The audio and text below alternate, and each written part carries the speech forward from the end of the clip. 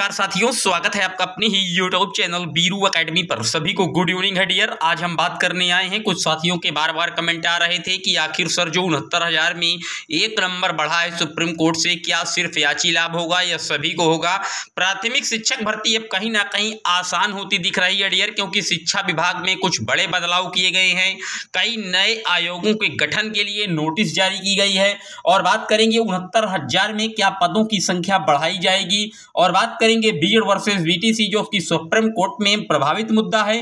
तो अगर आप इन सारे मुद्दों से प्रभावित हैं तो वीडियो पर अंत तक बने रहिएगा। एक एक डाउट आपका क्लियर होगा। कोई क्वेरी हो, कोई सवाल अगर फिर भी शेष रह जाता है तो कमेंट बॉक्स में छोड़ दीजिएगा। चैनल पर पहली बार आए हैं सटीक ऑथेंटिक न्यूज़ के लिए चैनल को सब्सक्राइब करके बेल आइकन प्रेस कर दीजिए। पहले बात कर लेते हैं उनहत्तर हज़ार का जो मैटर था, एक नंबर वाला। इसमें जो है, पहले वही प्रश्न के लिए हाईकोर्ट जाया गया था और हाईकोर्ट ने छात्र हित में फैसला दिया था, लेकिन सरकार उसके अगेंस्ट सुप्रीम कोर्ट में मामला ले गई थी। लेकिन सुप्रीम कोर्ट में जो एसएलपी थी सरकार की, वो पूरी तरीके से डिसमिस हो गई और एसएलपी को सुप्रीम कोर्ट ने खारिज कर दिया। तो एक अंक तो मिलना तय हो गया। लेकिन अब कुछ साथियों के माइंड में ये चल रहा है प्रश्न कि क्या सर एक अंक किन किन को मिल पाएगा? तो जहाँ तक मेरी बात हुई है, माननीय वकीलों के माध्यम से हमने संपर्क साधा तो उन्होंने स्पष्ट तौर पर कह दिया कि जो ये एक अंक मिलेगा, वो सिर्फ़ और सिर्फ़ याची लाभ होगा। तो अगर आप याची बने थे इस केस के तो आपको ये लाभ मिलना तय है और आपकी नियुक्ति पत्र भी मिलेगा। क्योंकि इसमें जो मैटर ये हुआ था, उनहत्तर हज़ार की जब भर्ती कंप्लीट हुई तो हलफनामा जो है, सुप्रीम कोर्ट में दिया गया था योगी कैबिनेट के द्वारा कि हमने उनहत्तर हज़ार भर्ती कंप्लीट कर ली। तो उसके बाद जब अड़सठ सूची निकाली गई थी, अड़सठ साथी इसी में चयनित होने वाले थे।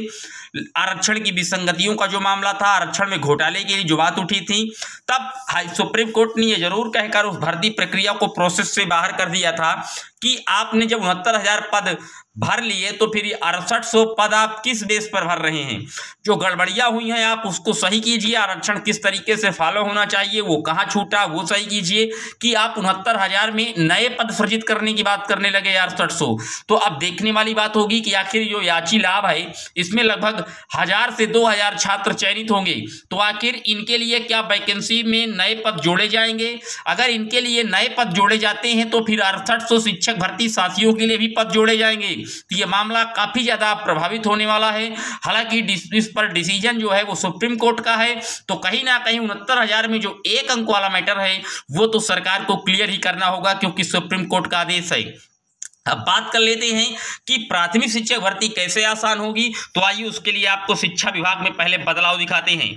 आपकी स्क्रीन पर आप देख पा रहे हैं, उत्तर प्रदेश शासन बेसिक शिक्षा अनुभाग का एक लेटर है, कार्यालय का ज्ञापन हुआ है।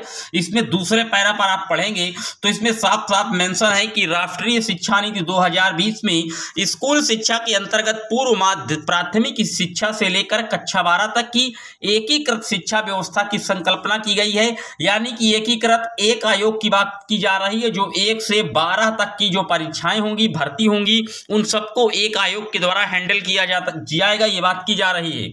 उक्त के परिप्रेक्ष्य में राष्ट्रीय शिक्षा नीति 2020 के प्रावधानों को सुचारू रूप से क्रियान्वित करने हेतु एकीकृत स्कूल शिक्षा व्यवस्था को राष्ट्रीय शिक्षा नीति के मंशा के अनुरूप मूर्त रूप देने के लिए बेसिक शिक्षा विभाग एवं माध्यमिक शिक्षा विभाग के मध्य समन्वय स्थापित करने हेतु शासन के समक्ष स्कूल शिक्षा का जो समन्वित रूप है उसे प्रस्तुत किया जाएगा।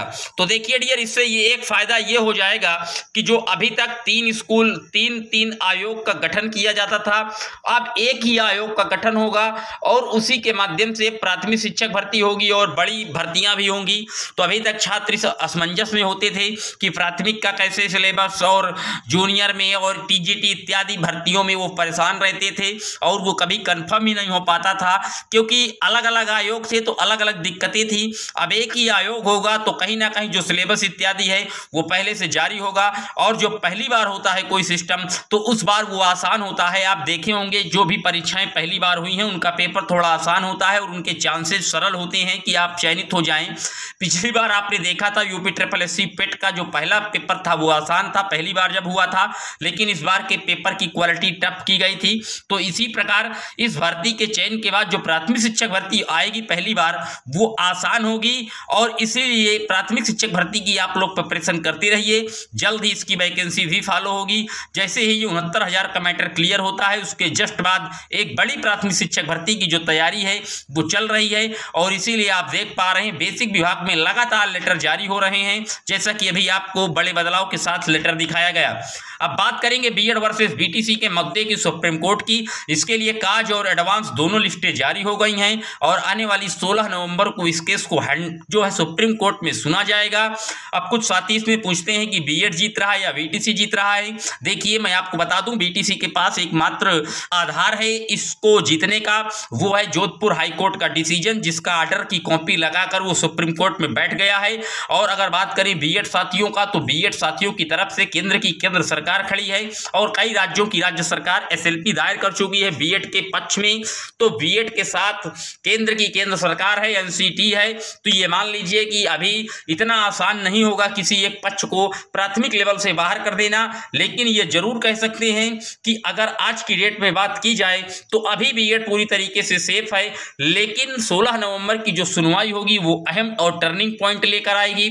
उसी दिन ये कंफर्म हो जाएगा कि प्राथमिक में बीएड रहता है या बीएड की अब यहाँ से छुट्टी होती नज़र आएगी। अगर बीएड प्राथमिक में बना रहता है या कोई ऐसा डिसीज़न सुप्रीम कोर्ट देता है कि चूँकि शिक्षा समवर्ती सूची का विषय है तो ढुलमुल रवैया सुप्रीम कोर्ट अपनाते हुए राज्य सरकार को आदेशित कर सकता है कि आप अपनी स्तर से वैकेंसी भर सकते हैं, जिसको जिस हिसाब से आपको चयनित मानना हो, आप मान सकते हैं, या ये भी कह सकता है कि बीटीसी को प्रथम वरीयता देते हुए बीटी बीएड वालों को द्वितीय वरीयता देकर ऐसे भी इस मुद्दे को सॉल्व कर सकती है सुप्रीम कोर्ट। पर्टिकुलर किसी एक को जिता दे पाना कहीं ना कहीं सुप्रीम कोर्ट के लिए गले की फांस साबित हो सकता है। एक पक्ष में डिसीज़न सुप्रीम कोर्ट के लिए थोड़ा सिरदर्द बना हुआ है, क्योंकि संख्याएँ दोनों तरफ़ हैं और दोनों की बातें कहीं ना कहीं तर्क संगत हैं। अगर बीटीसी की बात की जाए तो वो कहते हैं कि हमारी जो क्वालिटी है, एक से पाँच तक की है महोदय। तो फिर हम, अगर हमें, हमारी क्लास में कोई अन्य को आप लाते हैं तो हम कहाँ जाएँ? या तो हमें भी जूनियर तक जो है वो एलिजिबल कीजिए। तो काफ़ी ज़्यादा विवादास्पद है इस मुद्दे पर। अब आने वाली 16 नवंबर को जो है इस मुद्दे पर नज़र रखी जाएगी। सुप्रीम कोर्ट जैसे ही इस पर सुनवाई करेगा। तो ये मान लीजिए कि सुप्रीम कोर्ट उसके सुनवाई के दौरान ही जो पॉइंट व्यूज़ आएगा क्लियर हो जाएगा कि प्राथमिक में बी रहेगा या नहीं रहेगा।